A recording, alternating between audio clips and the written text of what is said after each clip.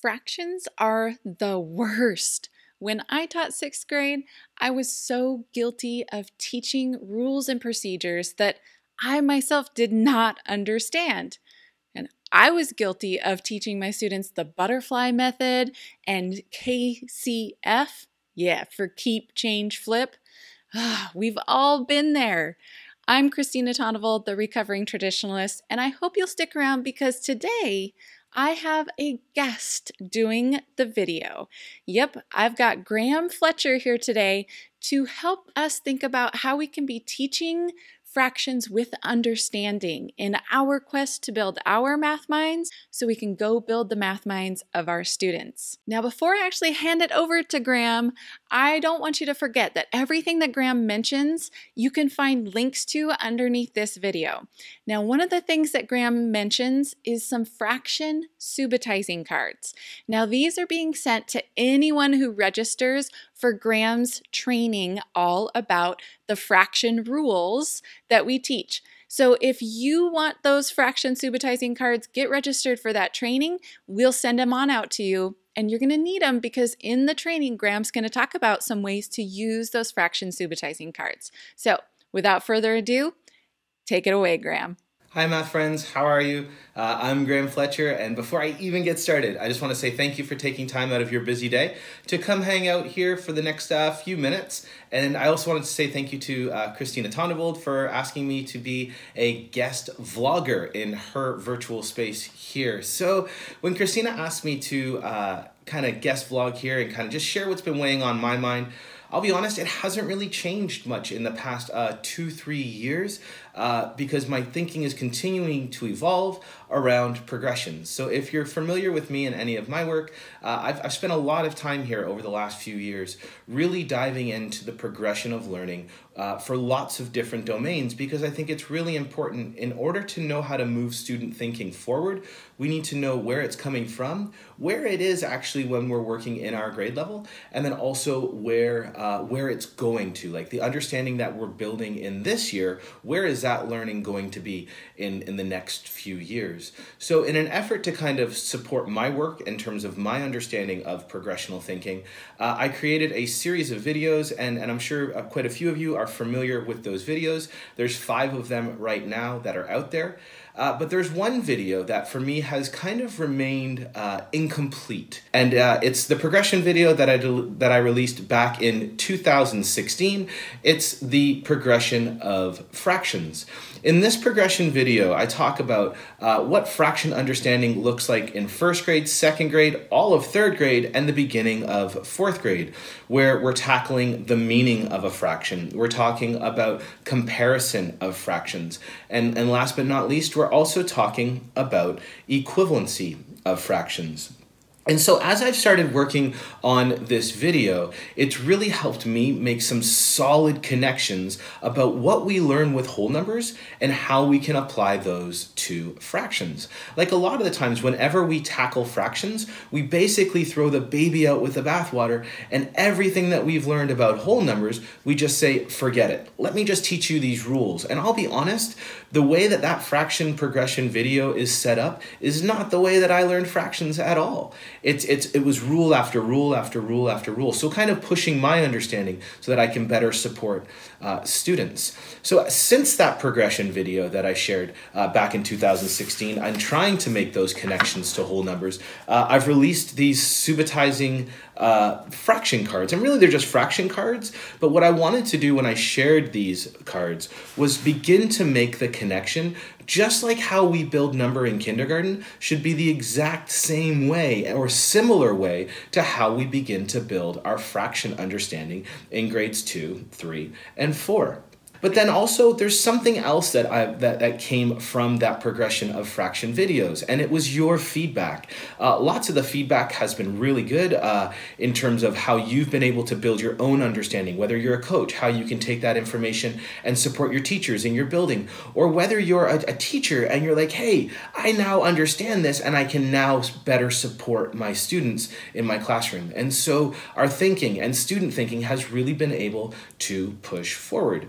So since 2016, I've had an opportunity to play in lots of different classrooms, and And typically, when I'm asked to go explore and play around in a fourth and fifth grade class, it typically comes around fractions. So I was in a fifth grade class. Uh, maybe about a year ago now.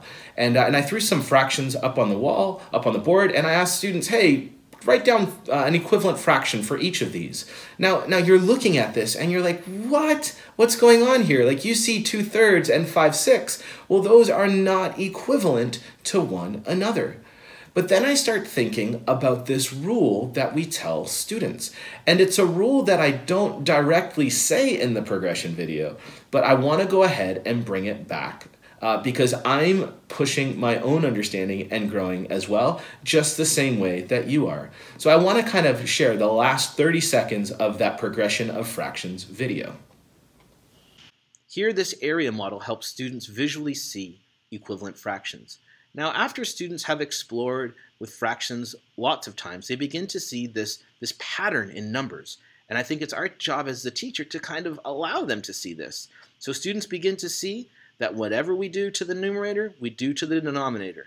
But I think that it's important that kids come up with that understanding, not just us telling them. Did you catch it?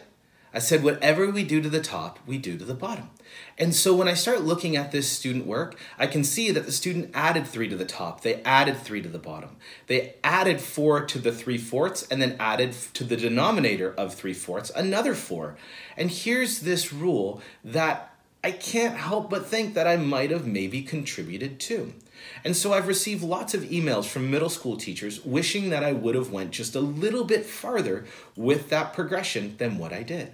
And what they were looking at was that we don't necessarily teach the rule of what we do to the top, we do to the bottom, but what's actually happening when we find equivalent fractions. And so let's take a look, and just like what we were saying earlier in this video, what if we were to leverage the things that we know about whole numbers and apply them to fractions? Well, say we were to multiply 7 times 1. Well, I think every single one of us on the other end of this video would know that 7 times 1 is 7 because of the identity property. Well, what would happen if we leveraged what we know about the identity property and applied that to equivalent fractions? So typically, when we go ahead to identify equivalent fractions, we would say we'd multiply the top by 2, multiply the bottom by 2, and we get 4 6, and we have the right answer, and we call it a day, and we move forward. And so what's really happening here is we're not multiplying the top and the bottom by two separate numbers. What we're actually doing is leveraging our understanding of the identity property.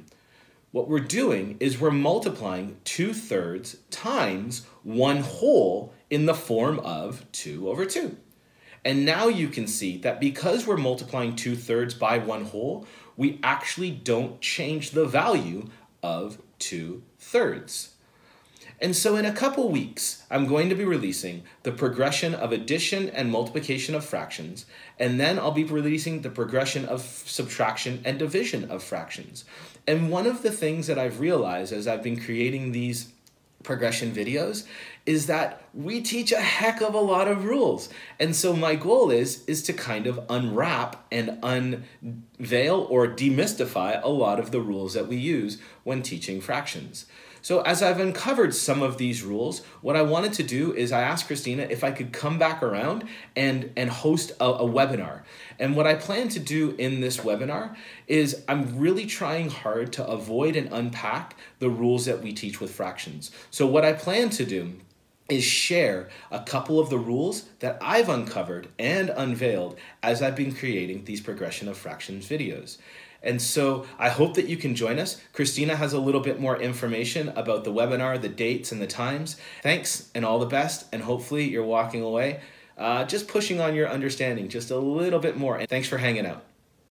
Thank you so much, Graham. Now, personally, I am excited for Graham's training because although it's uncomfortable to admit it when we've been doing something maybe incorrectly, it is really great to learn better so that we can do better, right? That's my whole philosophy. I know that I do a lot of things incorrectly, but I want to learn so that I can do better. And if you want to join me, then get registered for Graham's training so that we can learn how to teach fractions with understanding and really demystify those rules that we've been teaching without understanding those rules ourselves. So use the link below to get registered for Graham's training. All right, I hope that this has helped you build your math mind so you can go build the math minds of your students. Have a great day.